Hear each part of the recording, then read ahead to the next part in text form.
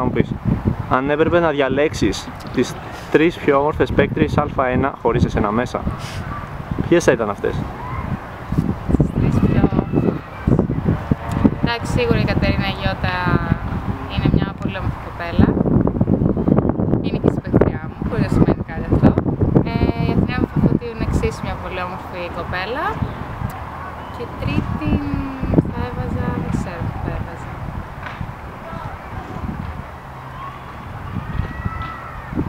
Θα έβαζα την Τζίνα τη Λαμπρούς, που είναι επίσης